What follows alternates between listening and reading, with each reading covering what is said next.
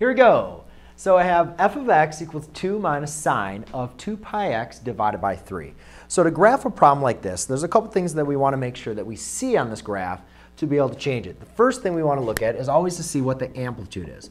And remember the amplitude is going to be your a in your standard form of your uh, trigonometric function. So your a is going to be what's going to be multiplied by your function, which here I have a negative 1. So therefore I can represent the absolute value of negative 1 is just going to equal 1. The next thing I need to do is determine the period. So the period, remember, is 2 pi divided by b, where b is your coefficient of x. So I look at the coefficient of x, and the coefficient of x is 2 times pi, and that's being divided by 3. So I'm going to write 2 pi divided by 2 pi divided by 3. So to get rid of this fraction as my denominator, I multiply by the reciprocal. And therefore, that's going to multiply to 1. That multiplies the 1, and I'm just left with a period of 3. Now the next thing I'm going to want to do is make sure I find the critical distance between each one of those points. Remember we have four critical points. So the distance between my four critical points is what I'm going to do is I'm going to take my period and then divide it by 4. So that's going to be the distance between my critical points.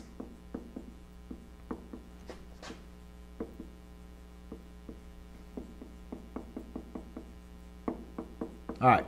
So the next thing we need to do is determine what's going to be the start and the end point of my initial period that I'm going to graph. So to find the start, all we're going to do is take whatever's inside our function and set that equal to 0. Then to find the end, what we're going to do is set whatever's inside my function and set that equal to 2 pi. Because remember on the parent graph, our initial period that we look at starts at 0 and ends at 2 pi. So if we're going to make any kind of transformations on there, uh, we want to see what the transformations are inside the function and set them equal to our 0 and 2 pi and see how that's going to change. So by solving for x, I get x is going to equal 0, meaning my graph is not going to shift. It's, oh, I'm sorry, well, it's not going to shift here, but it's still going to cross at 0, comma 0.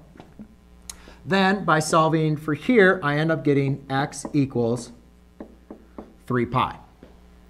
Uh, no, x equals 3. My apologies.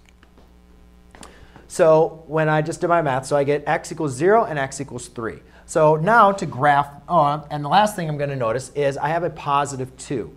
That means this could be also rewritten. You could also rewrite this function as f of x equals negative sine of 2 pi 3x plus 2. And the reason why it's important for you guys to understand that, that's a positive 2. And remember, when you have a transformation outside the function, that's going to shift your graph up or down. Since this is a positive transformation, it's a positive 2, I'm going to shift my graph up 2. Now, before I do the shift up or down, I always like to kind of graph it as is with its x-intercepts and everything like that. And then I take the final equation and I either shift it up or shift it down, depending on what I need. Um, we also look here and we notice we have a reflection. So, and that's a reflection about the x-axis. So I'm just going to write that down so I don't forget it as I'm graphing. So what we're going to do is we're going to graph an x-axis here. And what we're going to do is we're going to create x equals 0, which is my y-intercept. So that's going to be my starting position. Then I'm going to have four critical points for my initial period. So I'll have one, two, three, four. Now between each critical point we saw was 3 fourths. That means my first point from 0 to 3 fourths.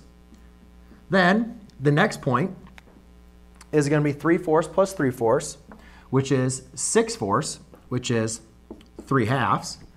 Then add another um, 3 fourths, which is going to be 9 fourths. And then our last force would be 12 force, which is equal to 3. I can also do that in the negative direction, negative 1, 2, 3, 4. And I'm going to have the exact same values just as negative. Okay, so now let's go and label our y-axis. Now remember, we initially always started with an amplitude of 1. So our graph would usually go up to 1. I know I'm going to be shifting my graph all the way up to 2, so I'm going to kind of space this out a little bit different. So I'm going to go up to 1, two, three, four. All right, so therefore we can label that negative 1, 2, 3, 4. All right, so let's start with the graph without the vertical shift. So we notice that we have my four critical points. I'm looking at sine, and remember it's a reflection.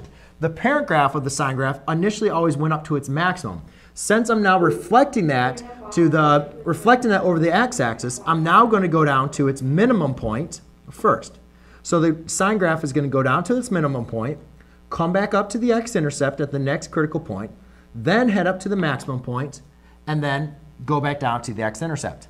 I can, I can um, continue this period in going in the negative direction by now going up to the max, x-intercept,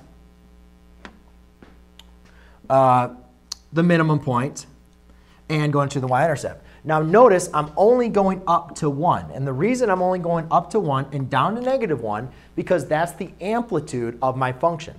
So this is what the graph is going to look like without a horizontal, or I'm sorry, a vertical transformation.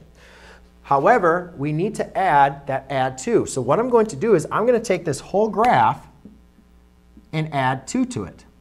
So therefore, each one of these points, I can now go up two points.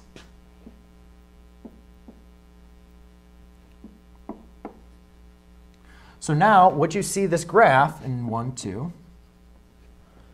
Uh, did I? Oh, that's at 1. That should be there. This is kind of a little bit high up there. So then I go up two points for here, two points there, two points there.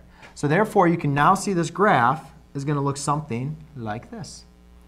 So this is going to be my final graph with the transformation as it's going to continue on and on and on forever. So there you go, ladies and gentlemen. That's how you graph with a vertical transformation. Thanks.